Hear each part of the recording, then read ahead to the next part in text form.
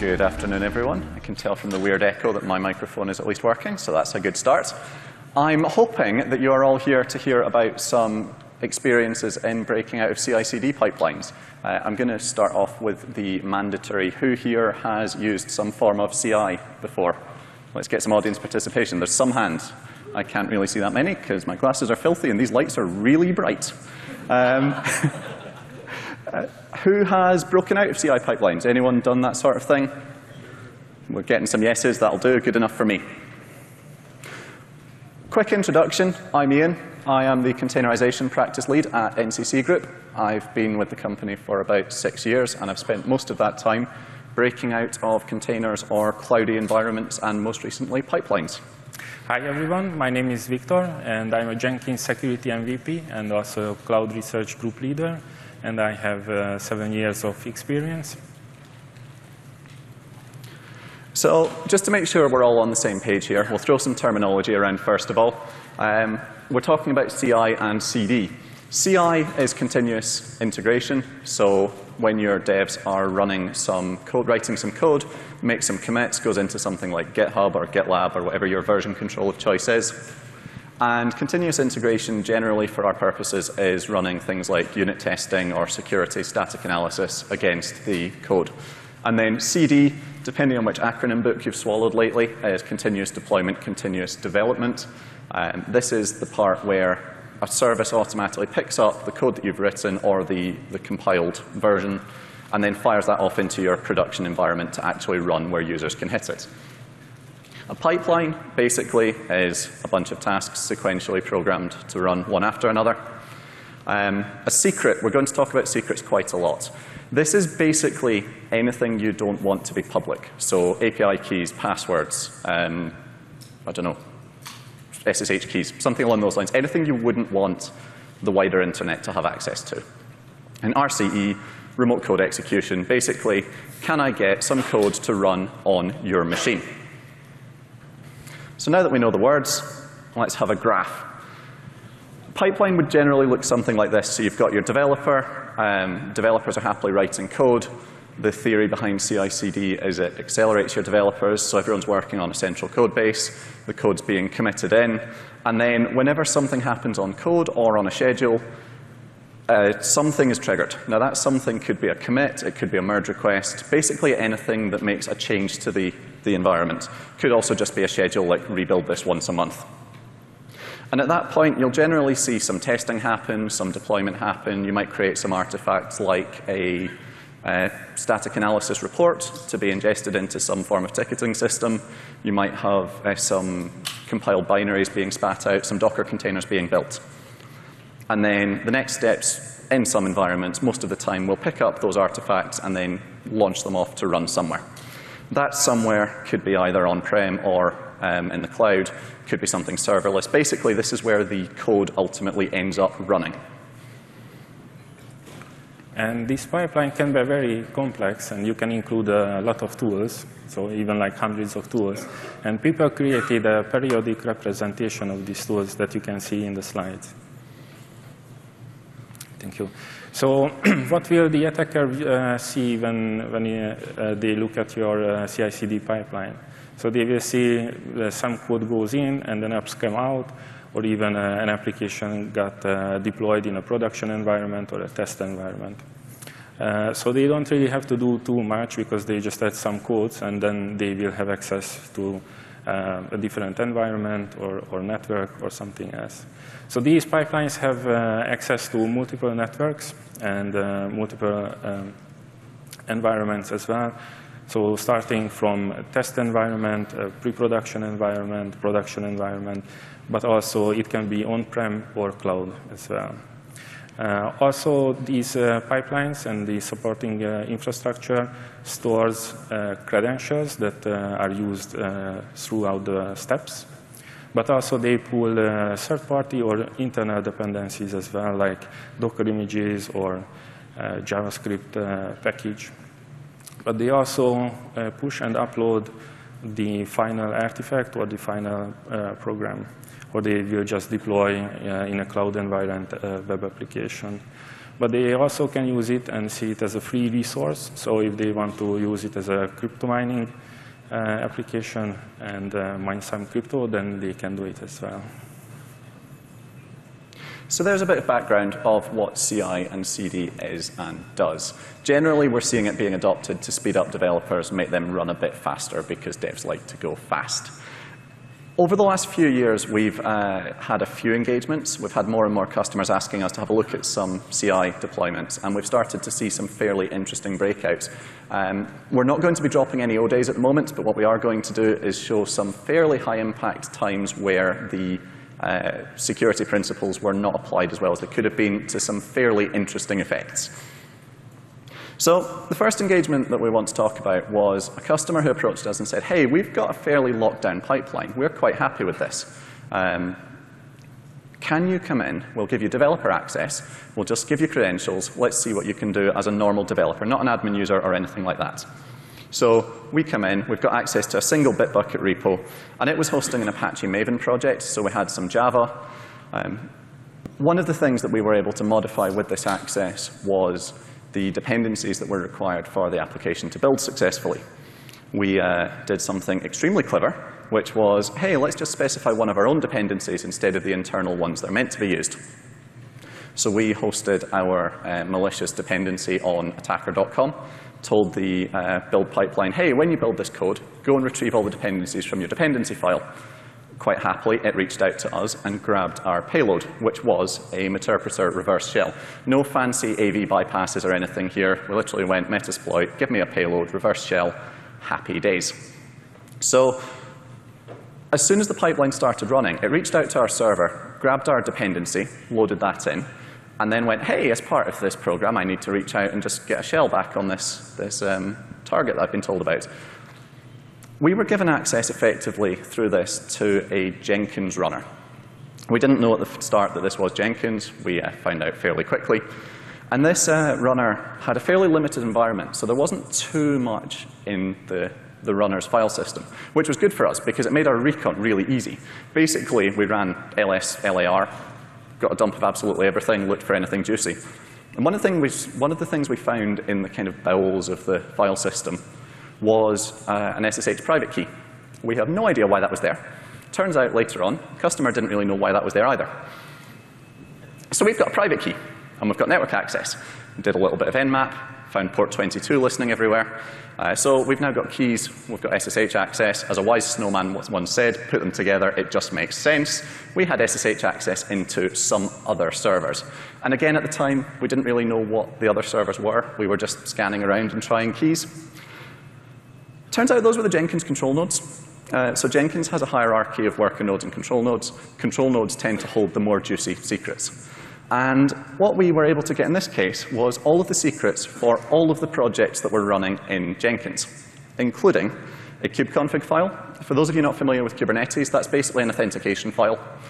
And in this case, it turns out that we had uh, full access to deploy anything we liked into the customer's production workload. Now, this was meant to be there because the pipeline had to deploy uh, workloads. That was what it was written for. But as a developer, I wasn't meant to be able to get direct access. We could. We could deploy any workloads we wanted. And because there was no admission control or anything at this point, we were able to basically compromise the entire production cluster. Now, in the interest of defending against this, we've got some lessons learned. Hopefully, these are relatively apparent. The first one being building credential hygiene. As I say, we didn't know, and the customer didn't know why that SSH key was there. There was no legitimate reason for it to be there, so it probably shouldn't have been. Without that, we'd have had a really hard time getting around the environment, getting around the estate. Similarly, network filtering, um, their build environment was able to reach out to the internet to grab our malicious dependency, and it was able to reach out to the Jenkins, the other nodes, to SSH around. A little bit of firewall ruling would have probably stopped this attack quite quickly. And again, dependency validation, had the customer only allowed pulling from internal uh, repositories, then we probably wouldn't have been able to pull down our external malicious dependency. I had also a similar assessment uh, where uh, GitHub was uh, used, but uh, it was used as an identity provider. So in this case, um, in Jenkins, they used a dedicated plugin. It, the name is uh, GitHub Authentication Plugin. and I will show a demo video.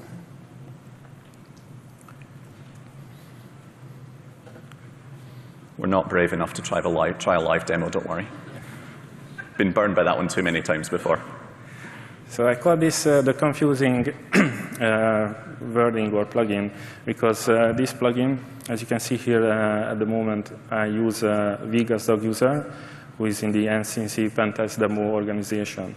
And uh, when you use this plugin and you use the option that uh, grant read permission to all authenticated users, uh, you can see it's uh, checked.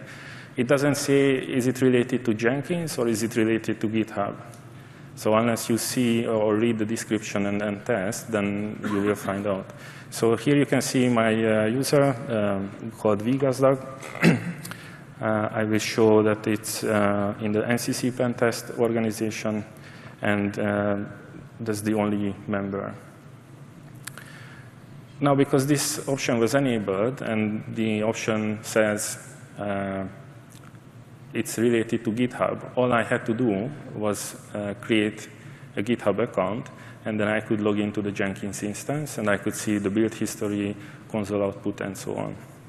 So here you will see that uh, I opened the Jenkins, and it redirected me to the GitHub uh, login page. So I will use a separate account. Uh, the name is uh, Woodspeed, a different email address, and uh, here you can see that it's only two users. It's not uh, Woodspeed is not there. Uh, I will use my uh, MFA code. I can. And then I will just enable that uh, it can access my uh, profile and so on. So once I enable it and logged in with my arbitrary account, uh, I logged in to Jenkins as well. And here you can see that uh, Woodspeed is not in the same organization, but uh, registered as a GitHub account.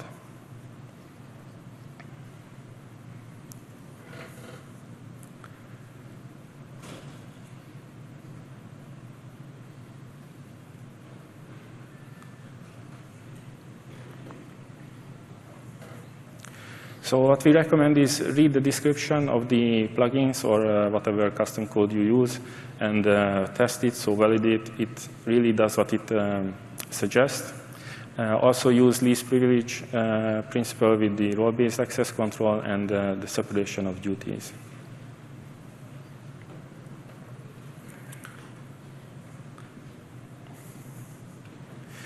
So the next example uh, is called the build output because sometimes uh, even the CI/CD pipelines helps us. So it will help us to uh, do something and, and, reach something or uh, let us do easier things. It's not because uh, the company gave all the developers administrator accounts. I, I didn't choose uh, because of this. It's bad. but what I, why I choose this because they used infrastructure as a code and they used Terraform the tool itself, and they didn't use a dedicated plugin. Um, this is important because if you use Terraform, it will, uh, you can use uh, variables and you can print out uh, what has been created. And in this case, they also printed out an AWS API key as well. And because it's in the pipeline and directly used, um, in the console output and the build output, everything will be recorded. So you will see all the variables that has been, have been created, and uh, in this case also the AWS API key as well. So again, uh, you will see some patterns. So we also recommended here again the least privilege principle with role-based access control, separation of duties, but also uh, we recommend using dedicated plugins because the plugin developers know what are the sensitive data and uh, information, so they will know how to mask it and when to mask it. And most of the time, we also see that uh, there was no monitoring or alerting enabled.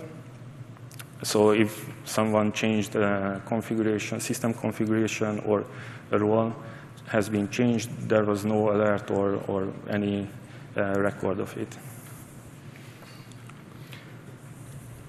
So these engagements don't always start off with quite as easy as, hey, we've given you dev access, please carry on and just uh, start from, uh, from a privileged position. Um, this, this next example was part of a red team engagement that we performed a while back, where we were up against a relatively hard target, couldn't get in through our usual paths. But what we were able to do was phish a developer and get their credentials. And then we were able to log into their uh, cloud-based CI. So kind of similar to my previous story, we had developer access, even though in this case we weren't really meant to have it, but we did. Happy days. Um, so we had developer access, and we had access to a fairly wide range of repositories. Not all of these were hooked up to an automatic pipeline. And an important thing to note here is that the customer um, was doing some things fairly well. So we didn't have access as admin to absolutely everything. We had relatively restricted permissions on the repositories that we had access to. However, we were able to modify some of the pipelines. And one of the things that this customer was not doing was separating secrets out per, uh, per branches or anything like that. So as Viktor just mentioned, it's possible to protect a secret. So whenever we tried to get secrets out of the pipeline, we just got the word redacted or the word masked or similar, which is not great because we can't really use that as a password. However, one of the things you could do, and I say bypass here, I use that term loosely, was run printenv and then just pipe that to base64, at which point the regex for is this an API key failed because it's just base64. So we then grabbed that data from the logs, um, base64 decoded it on our end. Anecdotally, one of the things I really like doing in these jobs when we don't really have direct access to logs is uh, to use something like Slack webhooks, because organizations love to use GitOps, and they love to have their pipeline ping developers on Slack whenever, the, um, whenever a build fails. But that means they've generally whitelisted api.slack.com, at which point you can just run printenv base64 that and pipe it to a webhook, and then like, my Slack pings and says, hey, here's all the keys, which is quite fun. Even more fun if the customer has um, has a big screen on the side of their monitoring center that shows all of these alerts, and then you can just start sending GIFs to their Slack webhooks. That's far too fun. It confuses them a lot. Uh, uh, yeah, there were some weird, people were very confused when that started happening. Um, but yeah, basically this pipeline had domain admin access, because obviously it did. Why would it not? So fairly hard target, apart from the one pipeline that ran everything as DA. So we found their limited Windows estate, and we had admin.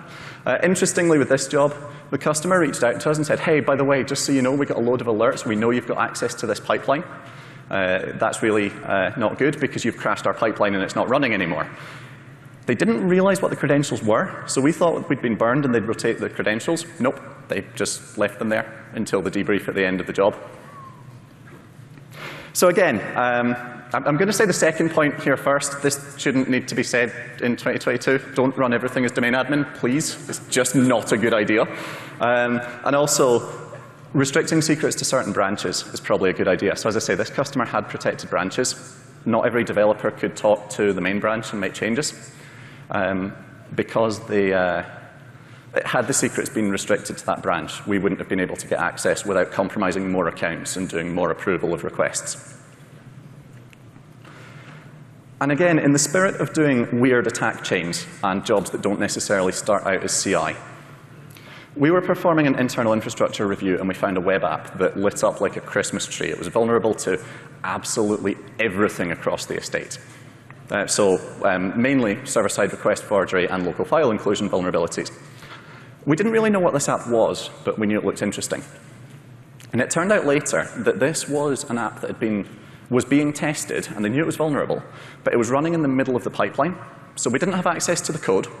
We didn't have access to the production running environment, but what we did have access to was an, an instance of the application running in the customer's development environment, and we knew nothing more about it at the time. But we started prodding around and doing some recon.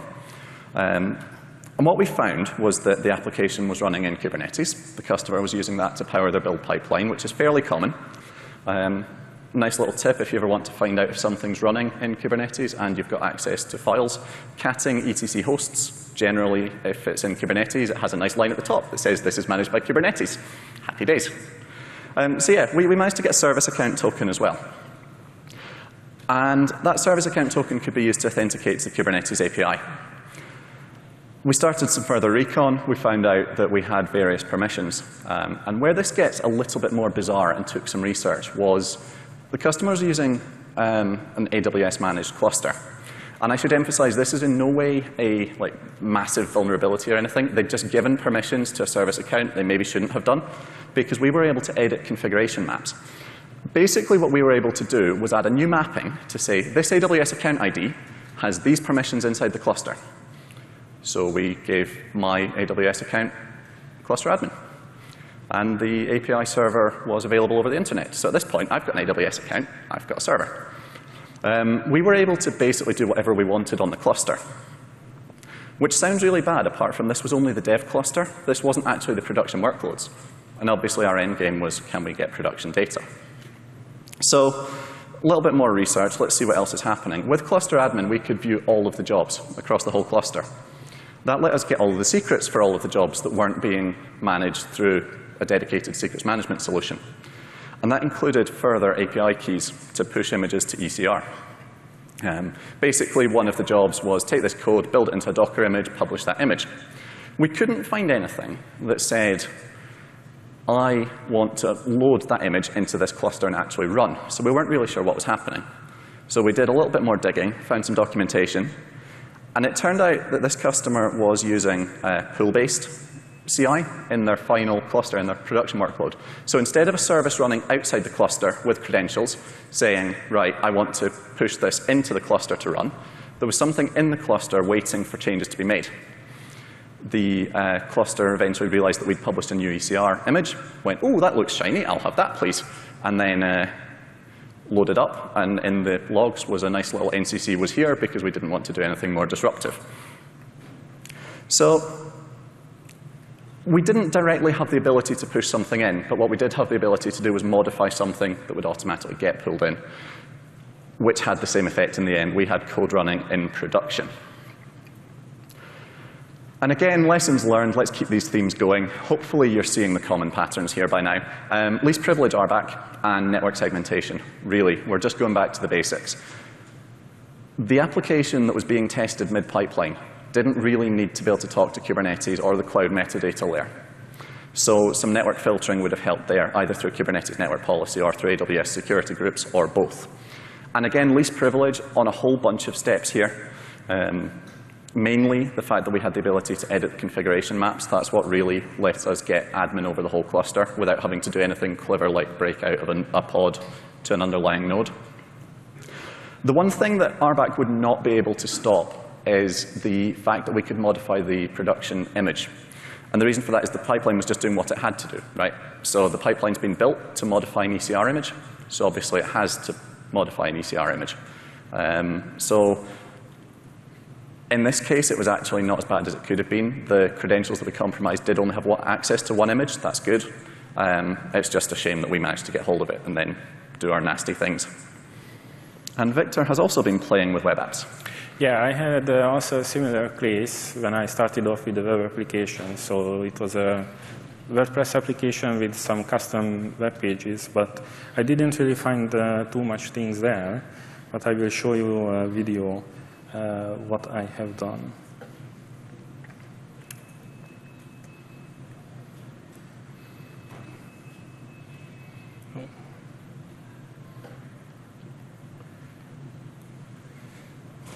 So here uh, in the video, we are just simulating uh, the web application. So I was looking around, uh, didn't really find anything. Uh, but I was uh, checking the sitemap file, and uh, especially maybe there is something in the folder as well. And what I found out that there is more in the sitemap, where the sitemap file was, because it was an S3 bucket uh, with directory listing enabled. So if it's not a DNS problem, then it's an S3 bucket problem. So in this case, we, we had that. And I found this file uh, called build.sh, which was um, responsible to push code to GitHub.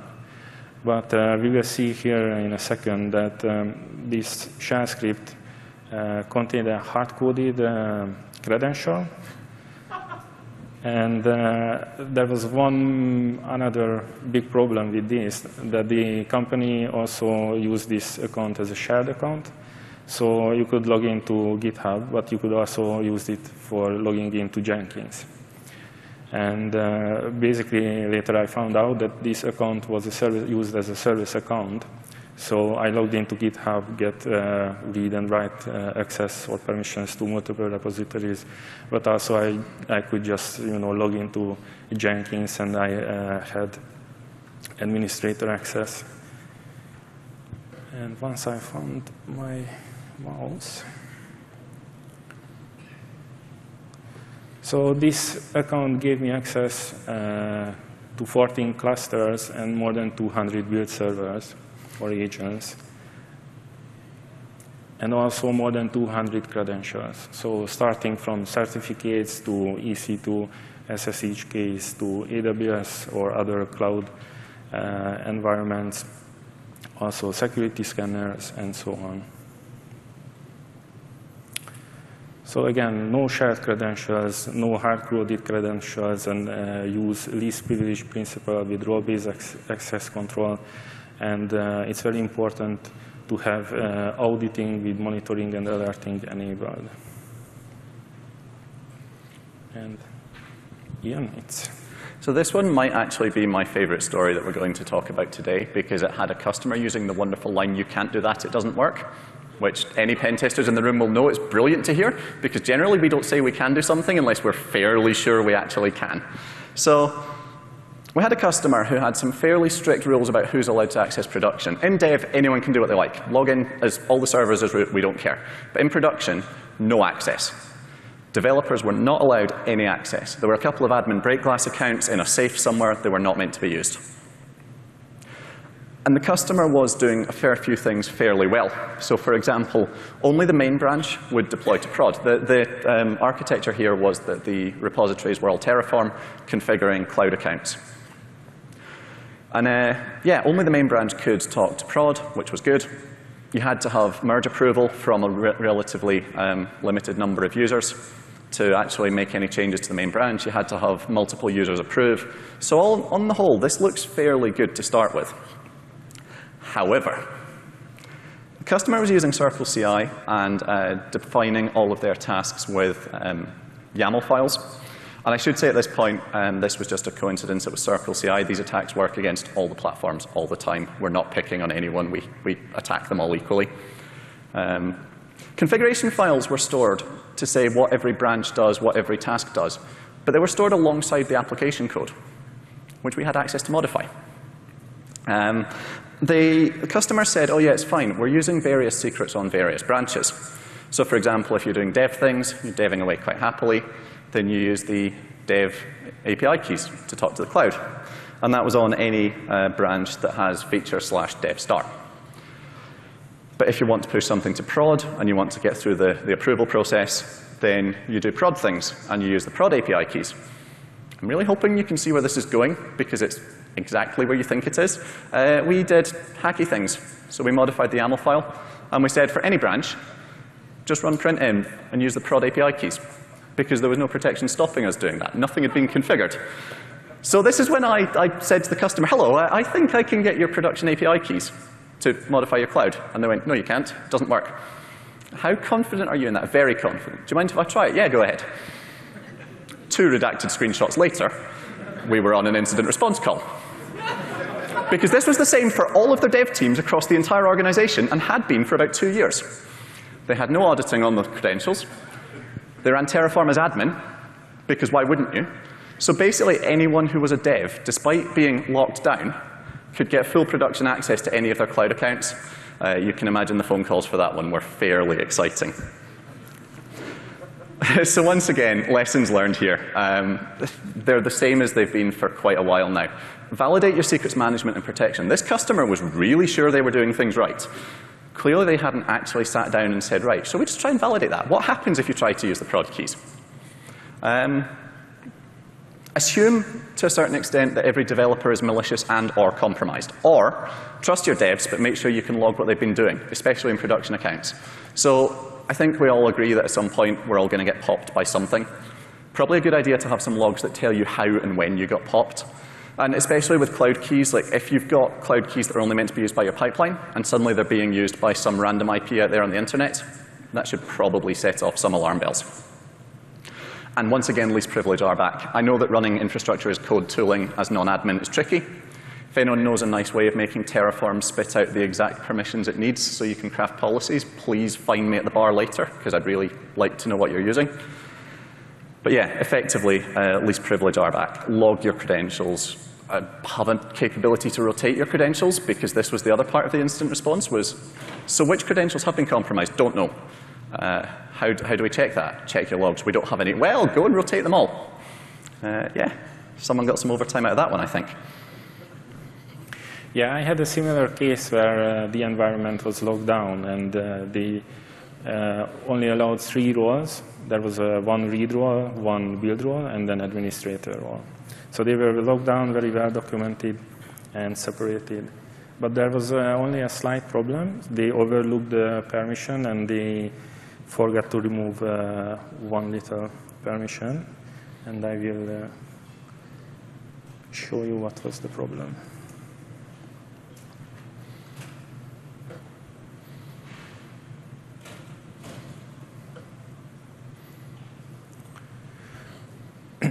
So in this case, the problem was uh, related to the build role because uh, this role had enabled the build replay permission.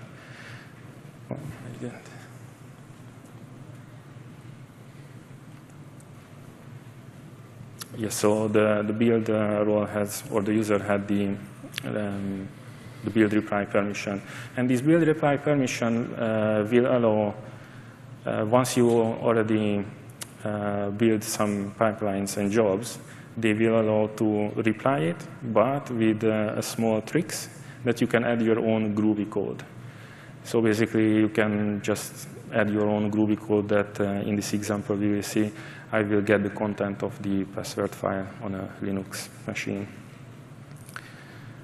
So even though they, they logged down, there was this small overlook that uh, allowed me uh, code execution.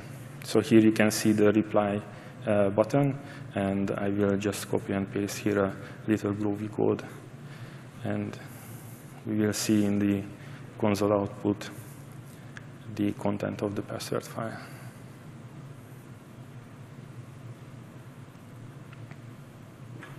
Here we go.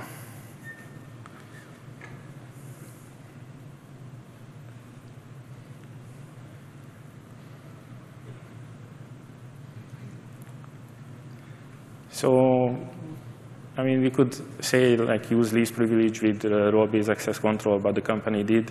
So what we can say is validate what you have, because uh, even a small overlook can have a very big impact.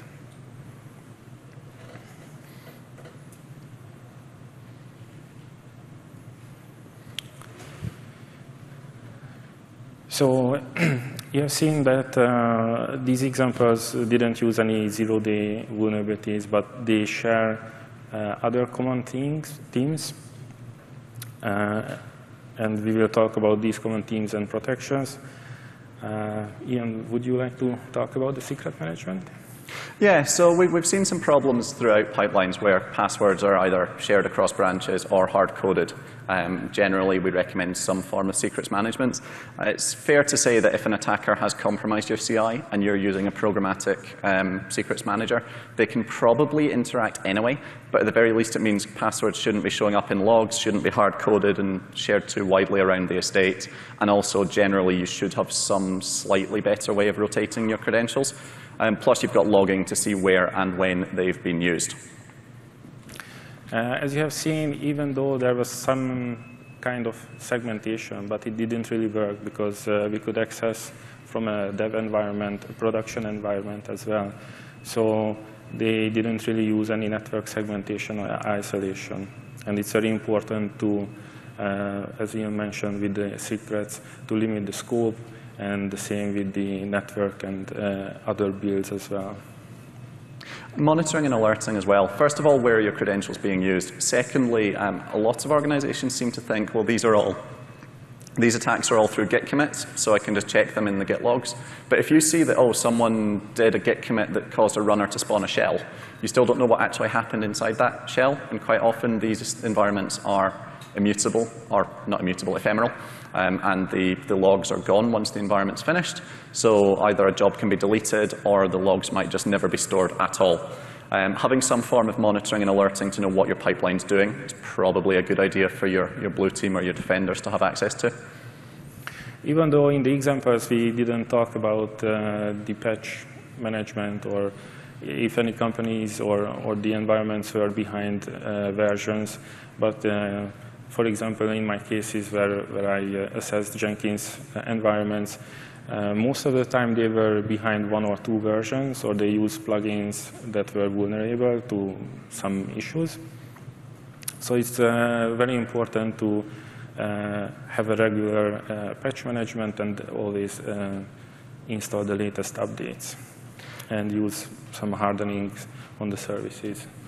And I'm going to roll the last two into one here because I think a lot of the problems we see come from people writing up uh, CI pipelines because they want things to go fast and then not thinking about them anymore. So threat modeling and RBAC kind of fall into the same camp. If you're implementing CI pipelines, if you have them in your organizations at the moment, and if you've not thought about this before, have a sit down and do a tabletop exercise and say, right, what would happen if we had a rogue developer? Or if we've got open source projects that we use or we maintain and they run some form of open source, um, anyone on the internet can make a commit sort of pipeline. Just sitting down and thinking, what would the impact be? What's the blast radius? Probably will at the very least let you understand the risk you're facing and then start to think about how you're going to either stop them or detect if an attacker is doing something dodgy. So to summarize uh, what we have talked about, CI/CD is beneficial for the companies and for the developers because they help with their uh, jobs to automate it, but they can be also very complex and uh, even a small oversight or overlook uh, can have a very big impact as we have seen. Um, none of these problems are new or used, we didn't use any zero days. And also, as Iain mentioned in the previous slides, uh, these environments uh, doesn't really have uh, a threat model that could show any problems.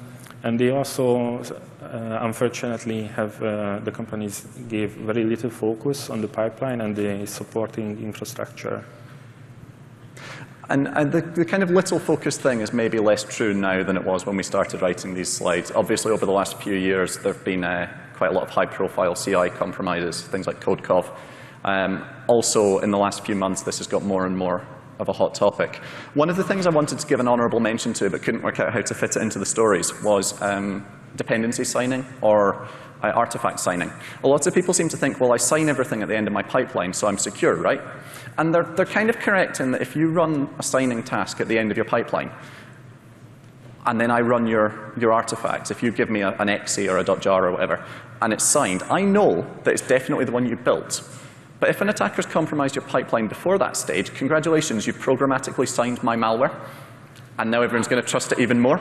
Again, don't get me wrong, signing is solving a huge problem, but it's absolutely not a silver bullet for security. We have used up all of our time, so I suspect we're going to get kicked out of here in about 54 seconds, according to the big ticking clock there. Uh, we have a room for another half hour if you want to, if you've got any questions. Um, either feel free to reach out. We are uh, Smartacus and WUCP. How do you pronounce Wuspy. it? Wuspy. um, on Twitter. Um, we're also first.last at or find us around here at some point. Thank you very much, everyone. Thank you.